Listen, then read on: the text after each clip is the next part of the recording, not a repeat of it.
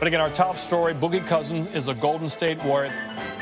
This has uh, caused massive reaction around the sports world. Man, right when I heard the news, I was just ecstatic. I, I kind of read it at first on my phone, and then I read it again, and I was I still thought it said Wizards, and I kept reading it. and I was like, man, this is not happening, you know. So, man, Boogie, welcome to the Bay, man. I can't wait for you. We're gonna do big things out there. Uh, as free agency went on, nothing came. Called his agent Jarinn Akana and said, you know what, I'm gonna call the Warriors. But then he called Kevin Durant. He called Draymond Green. He called Stephen Curry. And their excitement, their enthusiasm pushed them over the edge. DeMarcus Cousins is with the Warriors. Definitely inside presence, you know, nobody be able to come down that middle at will no more like that. The outside range, he can rebound.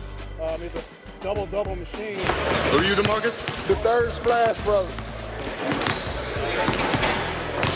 They ain't get that on, don't get that on camera, right?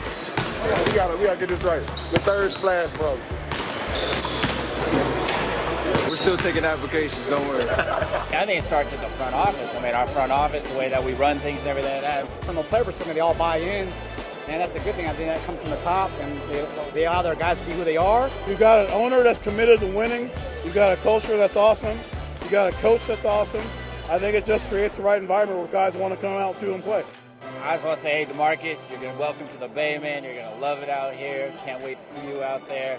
I'm so excited to just attend a game and just see all the love that we feel for it. Just be yourself and let's go get a ring.